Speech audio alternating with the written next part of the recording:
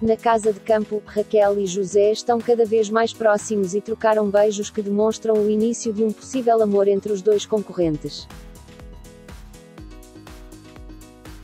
No rescaldo das imagens, Helena Isabel comentou a sintonia entre o casal: Eu acho que ambos querem, mas estão a velocidades diferentes.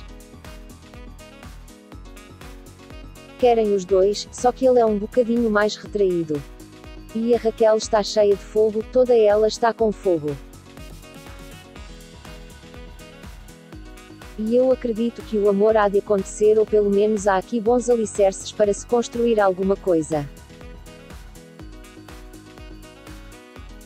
De seguida, a jurista partilhou o que faz neste tipo de situações, há sempre um que tem que ter iniciativa.